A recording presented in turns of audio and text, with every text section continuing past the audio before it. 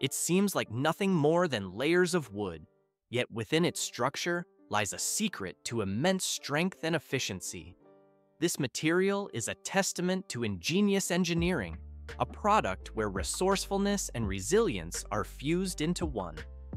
The entire journey begins with raw, rounded logs, which are carefully spun and peeled into long, continuous sheets of thin veneer. Once dried, each delicate sheet is coated in a powerful adhesive. They are then meticulously stacked, with the grain of each layer oriented perpendicular to the one below it. This cross-grained assembly is then subjected to intense heat and pressure, bonding the layers into a single, unified, multi-layered board. This unique structure grants the finished panel its signature properties, dimensional stability, and strength in all directions. It is this engineered advantage that has made plywood a cornerstone of global construction and furniture design, shaping the very look of modern architecture and interior spaces. It looks like a forest, but it operates like a factory. A vast living machine engineered for a single purpose. This is the often unseen foundation of the engineered wood industry. These are planted forests, managed with the precision of a vast green machine. Where natural woodlands might take centuries to mature, species like acacia, eucalyptus, and pine are ready for harvest in a mere 7 to 20 years. Every hectare is densely packed with 2,000 to 3,000 trees. Their planting staggered by age to guarantee a constant, unbroken flow of raw material. This is a model designed to break the industry's dependence on the slow and destructive logging of ancient forests. Spanning more than 290 million hectares across the globe, these industrial plantations now supply over half of all the raw material destined for plywood production. The entire life cycle is meticulously controlled, beginning with seeds specifically bred to yield straight, uniform trunks. From the protected environment of the nursery, the saplings are moved to the plantation to begin their accelerated journey to maturity. Here, they are set in precisely calculated plots, ensuring each tree receives the ideal amount of light and nutrients. Throughout their growth, they are carefully pruned, fertilized, and shielded from pests, all to optimize every cubic meter of wood. When the time comes, the harvest is a swift, mechanized operation. Trees are felled, stripped of their branches, and sectioned into logs with industrial efficiency. The straightest, most perfect trunks are sent to become veneer, while the remaining tops and branches are converted into biomass fuel, powering the very mills that will process the wood. The ecological significance of this system is profound. Without these managed forests, the global appetite for plywood alone would exert devastating pressure on millions of hectares of natural ecosystems. Instead, this closed-loop approach promotes rapid renewal and serves as a buffer, safeguarding precious wildlife habitats from encroachment. It is why every finished sheet represents a philosophy of equilibrium, where planting and harvesting become a single, sustainable rhythm a cycle where the demands of industry and the needs of the environment can coexist. It arrives from the forest still breathing with moisture. But left to the elements, this raw lifeblood would soon vanish, leaving the timber cracked and brittle. After leaving the plantation, logs still hold natural moisture deep within their fibers. Once stacked at the mill, however, they are exposed. Without careful management, they would quickly dry out crack, and lose their innate resilience. This is why the log yard serves not simply as storage, but as a kind of resting place for the raw timber. Here, a fine mist regularly showers the wood, maintaining a stable humidity that prevents any deformation. These artificial sprays penetrate beyond the surface, creating a crucial moisture balance between the core and the bark. This equilibrium minimizes splitting and helps to curb the spread of both insects and fungi. From a distance, the log yard resembles a vast, quiet reserve where thousands of trunks lie in neat layers under meticulous watch. This process of preservation ensures each log retains its original quality, safeguarding the stability and strength required to advance into the industrial cycle. As the next stage begins, the logs are immersed in enormous hot water basins or placed inside steam chambers. They are subjected to temperatures ranging from 80 to 100 degrees Celsius. The pervasive heat softens the wood's entire structure, allowing the cellulose fibers to expand while relieving internal stresses, a critical step that prevents the logs from cracking. Depending on the species and diameter of the timber, this soaking can last anywhere from several hours to an entire day. During this period, heat and steam penetrate all the way to the core, creating a uniform consistency from the outside in. Once removed from the basin, the logs have reached an ideal state of flexibility and stability, now ready for what comes next. It spins like a colossal spindle, yet what emerges is as thin as paper. Once softened by heat, the trunks are cut into sections from 1 to 2.6 meters long, sized for the panels they will become. A laser or mechanical gauge first aligns each log, mapping the optimal length to maximize volume and remove defects. The ends are then cut perfectly flat and square, creating a secure mount for the peeling lathe spindle. The entire log now begins to rotate, accelerating to hundreds of revolutions per minute. A steel knife over 3 meters long, honed to an angle between 20 and 23 degrees, presses firmly against the spinning wood. Opposite this blade, a nose bar applies constant pressure, compressing the fibers to prevent the veneer from cracking as it peels. With every turn, a thin veneer, only 1 to 3 millimeters thick, unrolls in a continuous ribbon, this thickness is dictated by the micro-adjusted gap between knife and spindle, where a deviation of just 0.1 millimeters can ruin a sheet. Modern systems use real-time sensors to constantly fine-tune the blade, ensuring the veneer is never too thin to tear or too thick to press.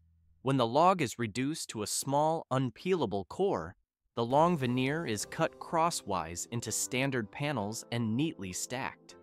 From a single solid trunk, these flat, uniform sheets emerge, the technical foundation that gives plywood its extraordinary strength.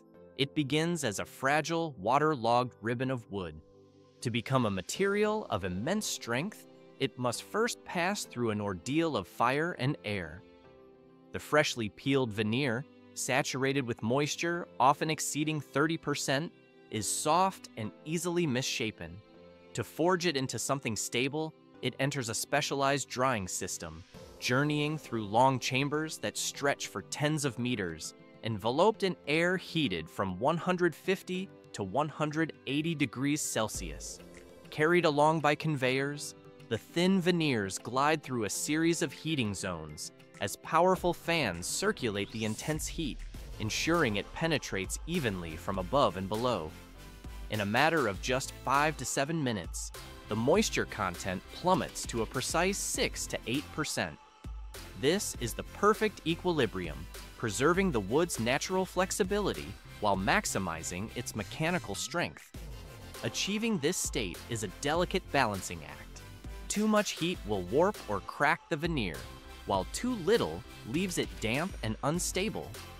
To maintain this balance, sensors constantly track temperature and humidity, feeding data to a control room for immediate adjustments.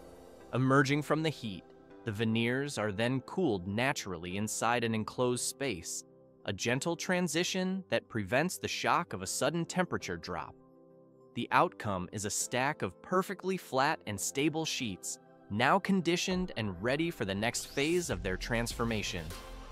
With its moisture content stabilized, the veneer advances to the gluing stage, a critical process that will fuse individual layers into a single, unified whole.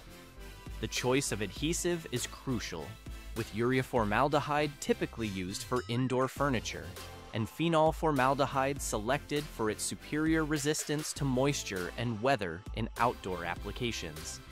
Along the production line, each sheet glides through a rolling or spraying system, an impossibly thin coat of resin just a few dozen microns thick, is applied with precision, enough to saturate the wood fibers, but not so much as to leave any excess. Every variable, from the resin's viscosity and temperature to the application volume, is meticulously controlled, as the slightest deviation could compromise the strength of the final bond. Optical sensors scan the surface, monitoring coverage and triggering instant corrections to ensure perfect uniformity. Each sheet emerges with a flawless coating, prepared to be layered into the strong multi-ply structure that gives plywood its engineered power. Here, immense force is applied not to destroy, but to create. With their grains set at right angles and coated in adhesive, the stacked veneers slide into the jaws of a cold press. A powerful hydraulic system exerts a steady, uniform force over the panel's entire surface, reaching pressures between 0.8 and 1.2 megapascals. For 15 to 30 minutes, this pressure holds firm, allowing the adhesive to distribute evenly and tack the veneers together, though the final chemical bond has not yet formed. This initial compression is crucial for stabilizing the panel's shape, squeezing out trapped air and ensuring intimate contact between each layer. Without this step, the glue could pool unevenly, creating weak points that might later lead to delamination or the entire board warping. When the cycle concludes, the panel emerges in a preliminary state, a unified but not yet permanent form, now stable enough for the heat that will complete its transformation. From the cold press, the assembled veneers travel to the next critical phase, the hot press, a stage that will ultimately determine the plywood's final quality. Here, massive steel plates heat the board surface with absolute uniformity, climbing to temperatures between 120 and 150 degrees Celsius. At the same time, hydraulic pressure intensifies to between 1.0 and 1.5 megapascals. This combination of intense heat and immense pressure sparks a chemical reaction within the resin. The adhesive liquefies, seeping deep into the wood fibers before hardening, locking the veneers into one solid monolithic block. The duration of this fiery ordeal depends on the panel's thickness, with each cycle typically lasting from 4 to 7 minutes. All the while, a network of sensors carefully monitors both temperature and pressure, making constant micro adjustments to prevent overpressing, which could fracture the wood, or underpressing, which would result in a weak bond. Finally, the press opens to reveal a perfectly flat and smooth sheet possessing a uniform thickness and remarkable strength. It is in this moment that the material is truly born, no longer just layers of wood, but a single, engineered whole, performing with the strength of many. The transformation is nearly complete, but perfection lies in the details. A raw, solid panel now awaits its final form. After leaving the intense heat of the press, the plywood sheets journey to the cutting area, where they are trimmed to precise standard dimensions. Blades of high-speed alloy steel spin into action, making clean cuts while shearing away any excess margins or defects formed during pressing. Each panel is carefully aligned, guaranteeing perfect squareness and uniformity across all sides. From there, the surfaces are treated by a multi-roll sanding system. Drums coated with fine abrasives work in a continuous rhythm, gradually removing rough spots to produce a smooth, bright finish.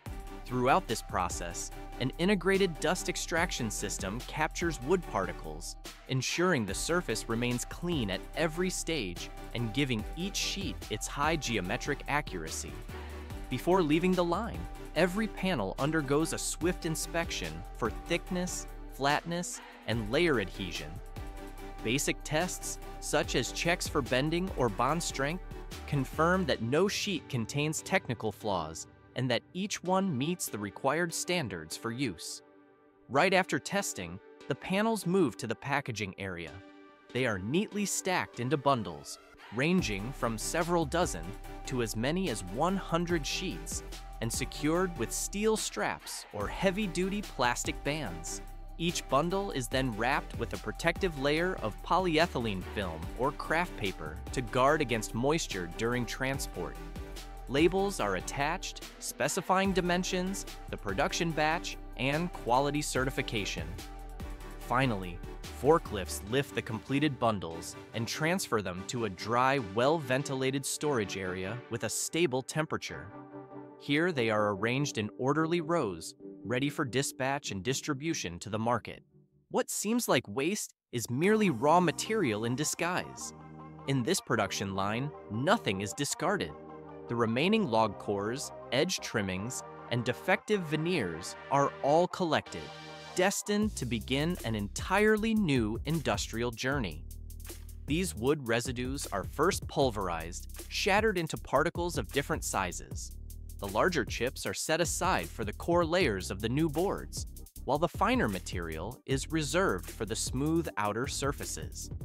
This particle mass then tumbles across vibrating screens, a mechanical sieve that filters out impurities, stray metals, or any oversized fragments. Next, the particles enter a drying chamber, a continuous blast of hot air heated to between 150 and 180 degrees Celsius, drives their moisture content down to a mere 2 to 3%, the perfect state for bonding.